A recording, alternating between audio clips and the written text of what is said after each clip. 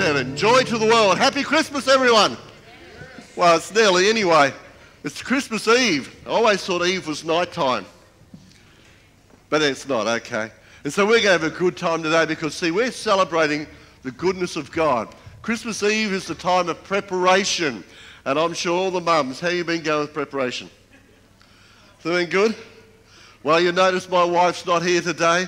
It's not because of preparation. She even got out of that. She's just not well.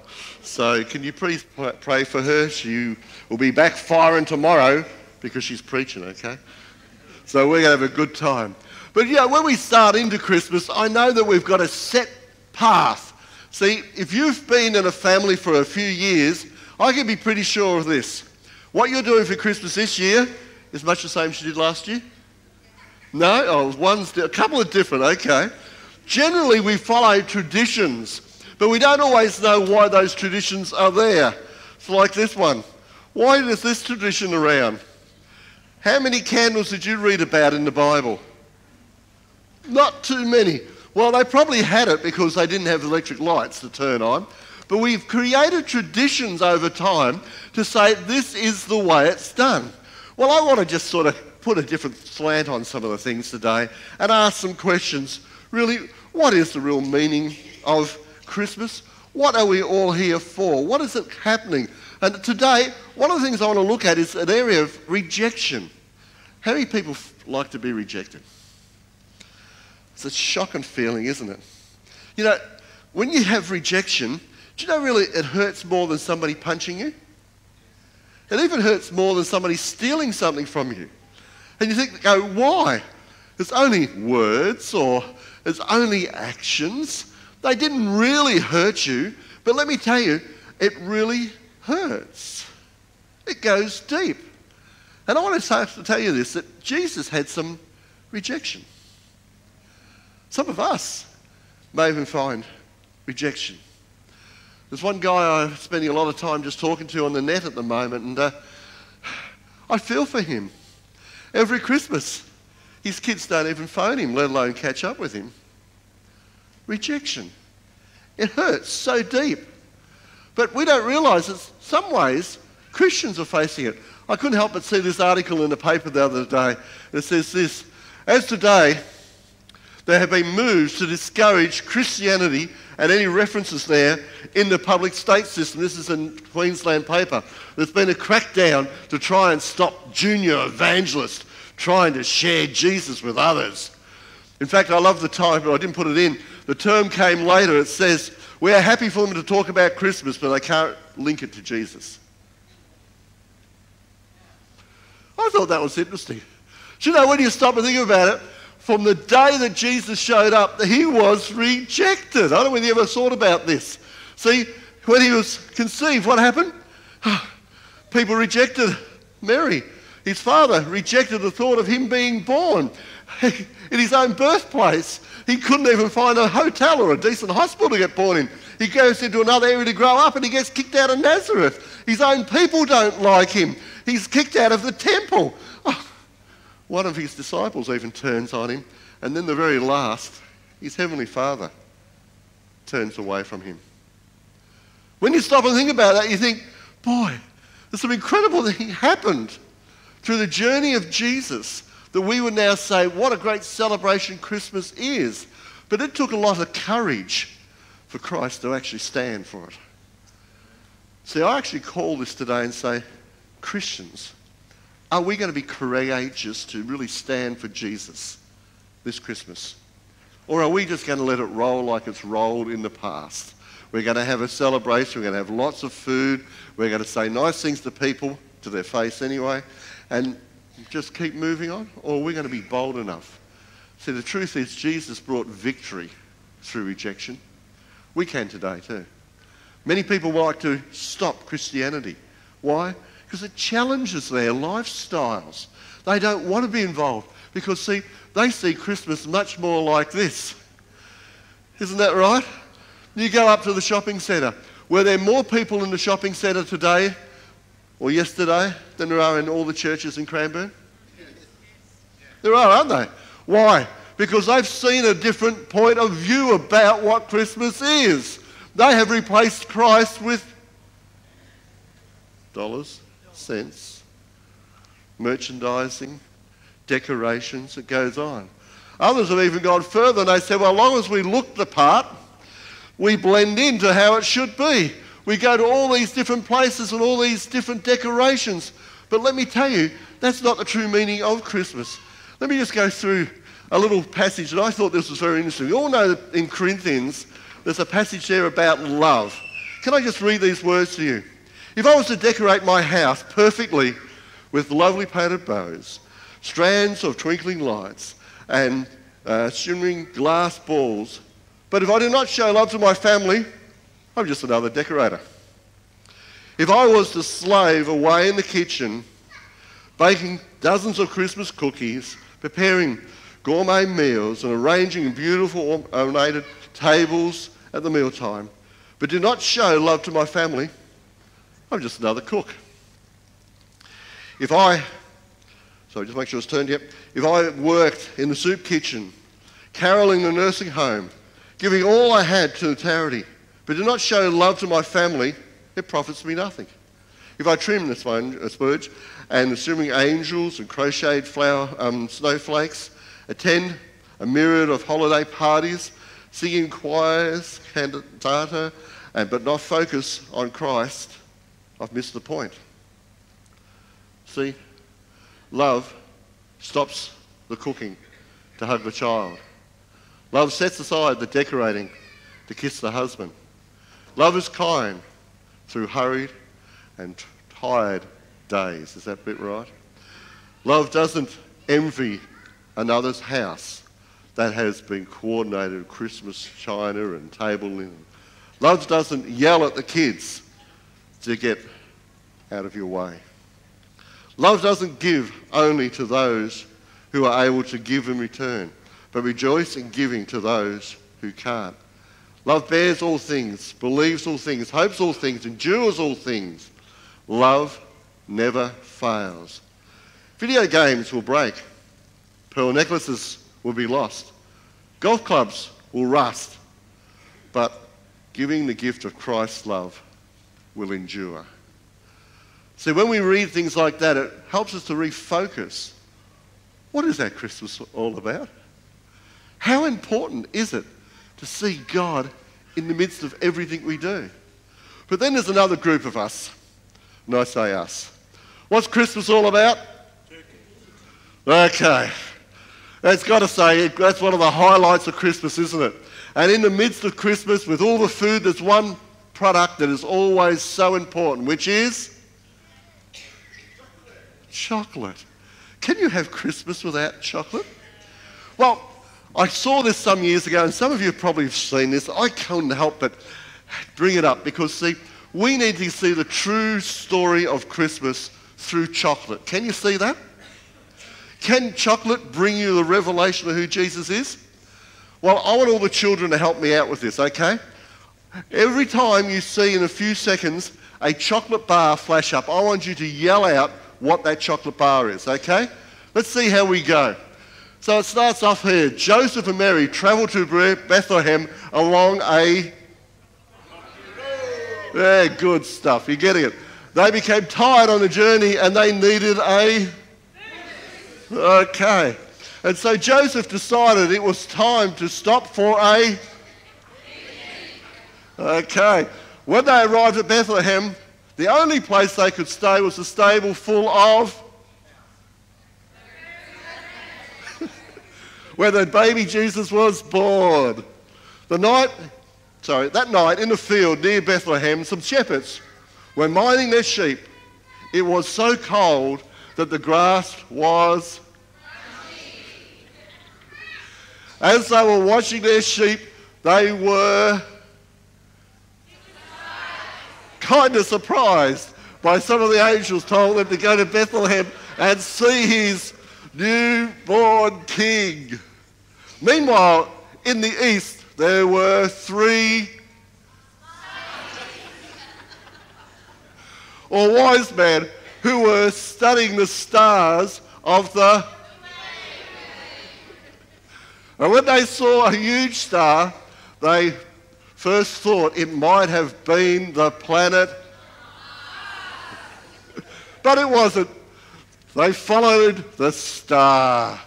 When they arrived in Bethlehem, they entered into the, uh, their, sorry, entered and presented their bounty of gold, frankincense, and myrrh. That night, the three wise men had a in which God warned them that King Herod was up to his old. So they returned home without telling him about Jesus. You see, Christmas is more than Santa, reindeers, and snow. It is more than having lots and lots of food to chomp on. We can get into such, uh, so we can get into so much of a twirl trying to organise Christmas. We forget what is it really about. See, this Christmas we need to take some time out to remember that best thing about Christmas is Jesus. Come on, is that right? So, you know, the story of Jesus can be found anywhere, is that right? The question is can the story of Jesus be found in your home? Can the story of Jesus be found in your life, in your communication? Too often we just allow things to roll and we forget it. As you heard before, we had the people up here presenting many of the scriptures out of Luke. And I just want to do a quick read through of out of Matthew so we've got a very clear picture. The birth of Jesus took place in this way. His mother Mary had been promised to Joseph in marriage. But before they were married, Mary realized that she was pregnant by the Holy Spirit. Her husband Joseph was an honorable man and did not want to disgrace her publicly. So he decided to break the marriage agreement with her secretly. Joseph had this in mind when the angel of the Lord appeared to him in a dream. The angel said to him, Joseph, descendant of David, do not be afraid to take Mary as your wife. She is pregnant by the Holy Spirit. She will give birth to a son, and you will name him Jesus, he saves, because he will save his people from their sins. All of this happened so that what the Lord had spoken through the prophet came true. A virgin will become pregnant and give birth to a son and they will name him Emmanuel, which means God is with us. That is the truth of Christmas. God had always planned for our salvation. God had always planned for our well being. And through centuries, God had been working it out. Now, centuries since Jesus was on this earth, He's left some other people to carry on that same message. Guess who they are? That's us. And we've got it whether you read it through chocolate bars, whether you read it through scripture, whatever way you do it, we are the ones now carrying the message. See, I don't know whether you ever thought about it. If Jesus was to come today, what would he come like? How would he be? Well, we see back in the old in the Bible it says that he came on a wasn't there a donkey involved that brought Jesus' mum to that place? How would it be? Some of you have seen this. I played this a few years ago. I thought this is good. If Jesus was going to be born in 2017 as a baby, let's have a look.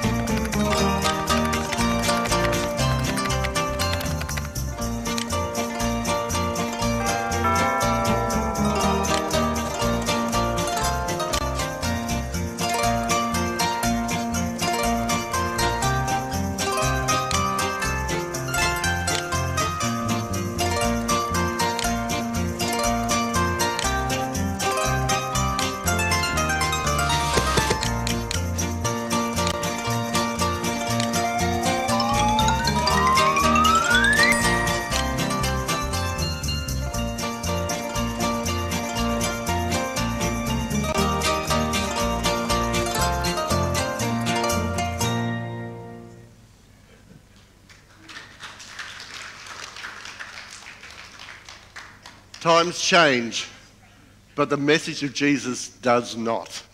It doesn't matter what you do, how you decorate your home, any of those things. Let me tell you this the message is still the same. Jesus Christ has come to this earth to save us. Until he comes again, he's left us with a message that we are to go and bring forth change to those around. So the question I always ask is, what are we doing here now? So we know the great thing is that Jesus has brought us salvation, so we've got a right to get to heaven. And everything I read about it, that's a good place. But we are left here for a reason, and the reason is simply that we are to do something about changing. But are we prepared? Was Mary prepared? Was Joseph prepared? You know, the reality was Bethlehem prepared? Let's try this again. Are you prepared? Your wife, your husband prepared? Is your home prepared? Your town prepared? What about this? A church, are we prepared? Something like Jesus coming changed everything they knew at that time. Today, let me say, I believe we've got to be ready for change. Change is going to make a difference because the greatest question is are we prepared for what God can do through his life now in us? See, as we go through, we need to ask these questions. What are we going to do to be prepared?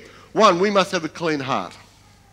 If we don't have a clean heart, then we're not going to be really the ones on the top of the invite list to be part of the party. I saw that invite list going out by the email and say we're going to create an event. Have we created an event? We call it church every week. How many have we actually invited? I know every time I turn on Facebook, there's another event to go to. You ever have that problem? And you just start ignoring them? Well, guess what? Some people have been ignoring the things of God for a while. But we need to be inviting them. It says, Blessed are the pure heart, for they will. Let's try it again. The blessed are the pure heart, for they will. Who wants to see God? Who else do we want to be seeing God? Are there others in our family, others outside our network, in our workplaces, in our school, that don't have an understanding of who God is?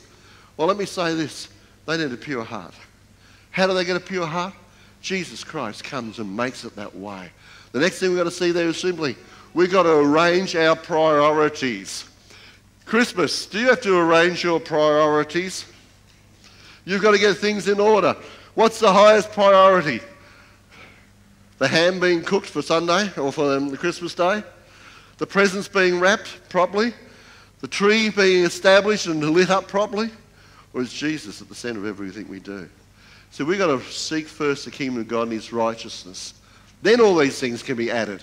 I don't know whether you ever thought about this. How many things? All things. What's got to go first though? His kingdom. Everything that evolves to Him, that grows to Him, that is contained in His life, that's number one. And as a byproduct, He gives everything else back to us.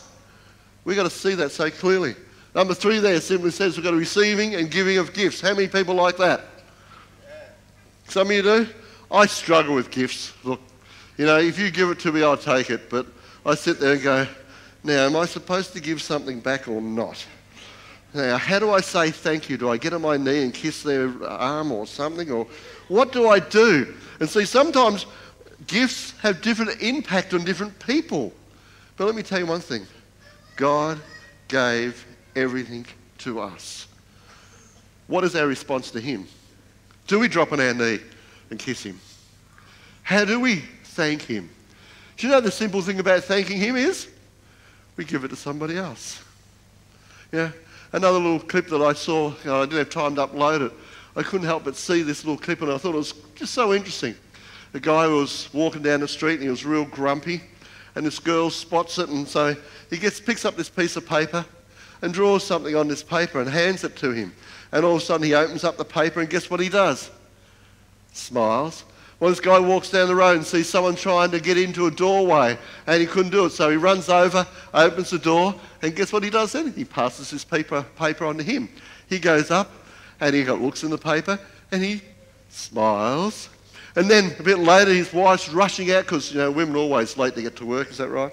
Okay, and so she's rushing out, and so just before he, ru- he ru- she runs out the door, she grab, he grabs his piece of paper and slips it into her purse. She gets down to the bus stop, and sees his paper, opens it up, and guess what she does? Smiles. But guess what? Standing at the bus stop is another lady, and she's getting impatient because she just missed the last bus. And so, guess what this first woman does? Slips a piece of paper to the next one. And guess what she does? Smiles. And then she takes that piece of paper and she gives it to her grandson, who's upset because he just opened the Christmas present and it broke. And he opens up the paper and he smiles. I looked at that and I thought for a minute, if we Christians just did that, how many lives would change? We've got to give gifts because the gift is this. To all who receive him, to those who believe in his name, he gave the right to become the children of God. Could you get that picture? If you were giving that one thing, you know what was on that picture? I had to watch it right to the end to find out. You, you ready for this? You know what made them smile? Two dots and a little circle. A picture of someone smiling. How simple is it? And then I thought, how simple is it to share Jesus? How simple is it to let them know about the love of God? Just pass it on one by one by one. See, we've got to get to that point of giving our heart. We will never give anything unless our heart first is changed. My child, give your heart and let your eyes keep to my ways. If we put God at the center of everything we do, you know what's going to come out. Yeah, the interesting thing, you've ever noticed when you talk with people, after you talk with people for a few minutes, what can you normally find out about that person? Can you usually find out whether they're married, whether they've got a job, whether they've got a family? Why do those things come out? Because it's important. How many times did Jesus come out? Is Jesus important? Is he the one that is the center of everything? So often we get our eyes tied up on all those things which are family's good, what your career is good, all those things are good, but what's even better? Jesus. He's got to be the one that's there. See, if we declare that Jesus is Lord and believe in our heart that God raised him from the dead, you will be what? We'll just try it again. You will be? By believing, you receive God's approval. And by declaring your faith, you are saved. Scripture says, whoever believes in him will not be ashamed. Today, this is the greatest thing that we could ever declare to people. See, we know this passage so clearly. Jesus rejected. Scripture goes on and says, See, I am sending Christ to be the carefully chosen, precious cornerstone of my church. And I will never disappoint those who trust in him. Scripture tells us, though, that he was rejected, he was pushed aside. But Jesus was taken to be the center of everything. Today, church, we've got that privilege. This Christmas, let's keep Christ right at the center. Because if we don't, we're going to find many people miss out. You've seen pictures like this before. God's whole purpose has been to bring people into his presence. But he has left us here to declare the message of Jesus. The only way into God's presence is to accept Jesus as Lord and Savior of our lives. And today, this is what we have the greatest privilege to do. See, Christmas, people are used to hearing about the name Jesus. So let's use it. They're used to hearing about the term Christmas. Well, you take Christ out of Christmas, what do you got? Just got a mess. That's all. So we've got to keep Christ at the center of all that we can do because if we don't, we don't realize how much people miss out. The question is this do we accept it or do we reject it? Today, people are going to make that decision. We're going to have family that we're going to meet. They're going to have to make that decision. And I pray that we're going to see this opportunity, that we're going to see lives change as a result. Can I have the musos back, please?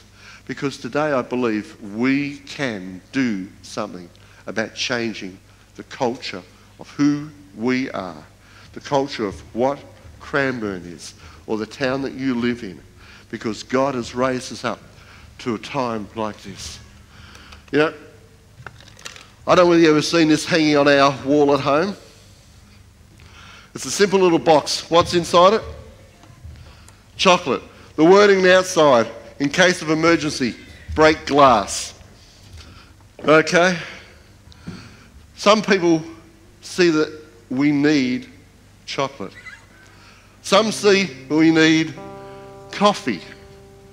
But let me tell you this there is an emergency happening right now, and we've got to break the glass and let Jesus out. We've got to allow Jesus to be the center of everything we do. So we're going to be heading into our celebrations tomorrow. Christmas has come. You can't stop it now, and we need to be ready for it.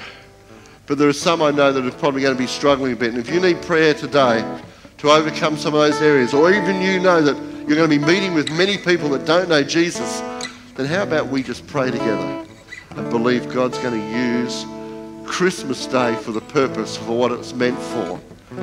Christ, Jesus comes to save. Let's stand to our feet. We're going to close. I'm not sure what we've got. Middle of the road. There you go. And we're going to, if you want prayer, I want you to come out because I don't want us to enter into Christmas not knowing that God can do something powerfully in your life.